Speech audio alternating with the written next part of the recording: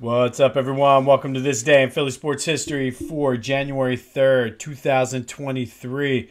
Before we get into anything, just want to say thoughts and prayers to the Buffalo Bills and Damar Hamlin and his family.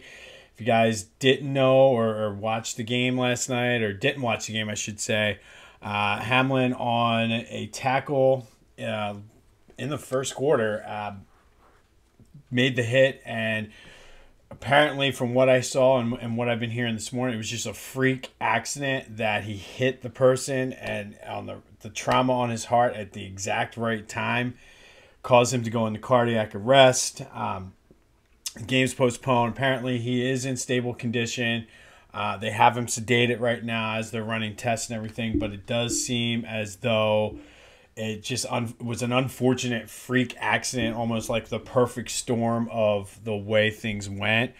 Um, and before we get into the Philly stuff today, I, I do want to just might piss some people off here, and that's okay. I'm I'm willing to take the consequences for this, but just kind of scrolling through Twitter at last night, trying to find out what's going on. Social media can be a toxic toxic, toxic place. And I, I think we as a society need to get better. And uh, like we're so quick to, and this is not a political thing because it's both both sides of the spectrum and everywhere in between, where it, we're so quick to say no, you're wrong and you're evil and I hate you and you need to be canceled because somebody has a major uh, disagrees with what we feel. And I'm an educator by my day job, and I feel as though we need to educate. And yeah, like I don't know what it is. We're we can have differences of opinion. We don't have to agree, but I feel we don't listen anymore. We hear, we see, we read, but we don't listen to anybody. And I think ultimately that's what it comes down to. We need to listen to what everybody else is saying. Maybe get a, a some perspective on where this person who disagrees with you comes from.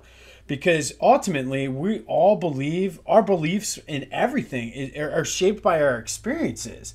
And unless we're listening to everybody unless we're trying to make an effort we're, we're gonna get we're we're doomed. We're doomed as a society. So eh, make this your new year's resolution don't be so quick to react and call people out and and and again it goes on both sides just listen make that your new year's resolution listen, gain some perspective, and maybe understand that, you know what, this person's coming from this.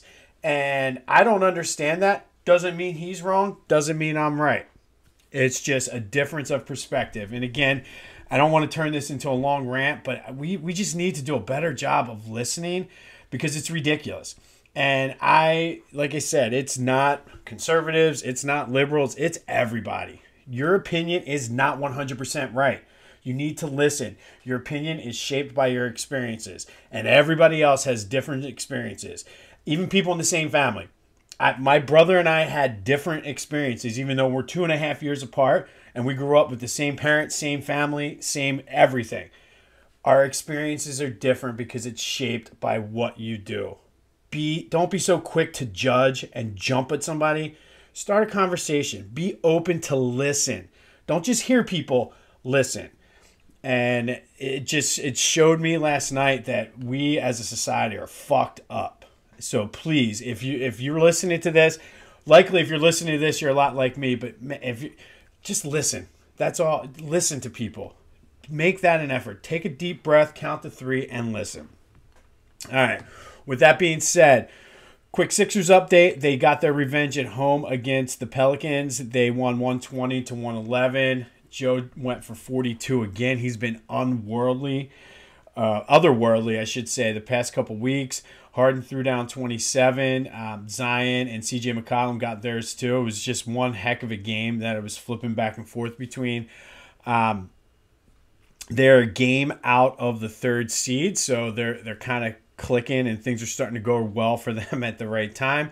Flyers, on the other hand, kind of are clicking. Yes, they've been playing a lot of shitty bottom bottom feeding teams, but they won against the Ducks four to one for their fourth straight. Um, a game again where they could have moved down in the standings, which is kind of still funny to say, but they currently are in 26th out of the 32 teams. So we'll get there. Uh, the Eagles, no real major updates on injuries or anything like that. Um, I, I, did not hear because of all the other craziness that happened yesterday whether Josh Sweat was released from the hospital or not.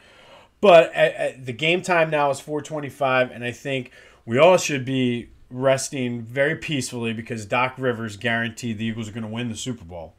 Um, I'm kidding. I'm, I, that was a pile on Doc. I'm just saying, like it's it's funny that that came out. He's like, oh yeah, they're to guarantee. Like, how about you focus not on the Eagles, on getting your rotations right, Doc? But we'll take it. All right. So for this day in Philly sports history, we're to go back to 1981 and it was the divisional playoff game against the Vikings at the Vet.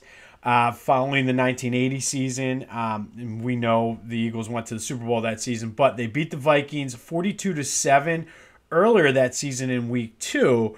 So they finished with the 12 and 4 record, which I never realized this until uh, last night when I was doing the research for this. The Eagles were the two seed. I thought they were the one seed, but the Falcons had the one seed. So they were 7 and 1 at home. So what that meant was the Vikings came as the winner of the Central Division to Philly, and they needed basically to hope that Dallas, who won the wild card round, beat Atlanta to have that home game. But considering they beat the Vikings 42 7 earlier in that season, they played like it to start the game. Um, it seemed like they expected a cakewalk, and the Vikings jumped out on them early 14 and nothing. Um, and then the Eagles did come back and tie it. Uh, they gave up a safety, so it was 16 14. And then it just became just a slop fest. Uh, the Eagles forced eight turnovers altogether. They gave up three.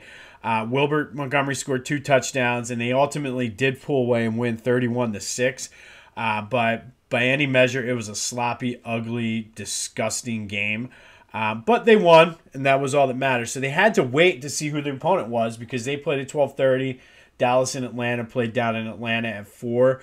Um, so we know Dallas ended up winning and ultimately came to Philly the next week for the NFC Championship game, which we will get more into that next week. But for now, on this day in Philly sports history, January 3rd, 1981, the Eagles beat the Vikings 31 to 16 in the divisional playoff in what was really just a sloppy sloppy game. Um, glad I did not watch it, uh, but by all measures, from everything I saw, it sounded disgusting and horrible. But in the playoffs, you win and move on, and I think we're we're we're getting into that mindset. So hopefully we have more of an update on the Eagles tomorrow. Again, thoughts and prayers to Damar Hamlin and his family and the whole entire Buffalo Bills organization. I've never seen anything like that and just the look on their faces and say what you want about the NFL and who made the decision, what decision. Ultimately, the right decision was made. There was no way to finish playing that game. Um, but with all that being said, thoughts and prayers to his family, him, the Buffalo Bills organization, everybody, even the Bengals. Uh, Tee Higgins um, for even being involved in that hit, like that's got to be something. So just thoughts and prayers, and I'll leave you with this. Ordinarily, I will say, go have yourselves a Tuesday. Please do that, and until next time, not even I'll see you when I see. You. Just listen and, and just show some compassion for people. And, and and you know what? Make it your point this week and it doesn't even have to be today the entire week. Just take a minute and learn something new about somebody who has a different viewpoint than you a different religion a different cultural background a, a different ethnicity something. Just take a minute to learn something about somebody that is different than you to maybe try to understand and, and move on and not be so fucking nasty to everybody. Please. So go have yourselves a Tuesday. Be nice to one another. And until next time, I'll see you when I see you.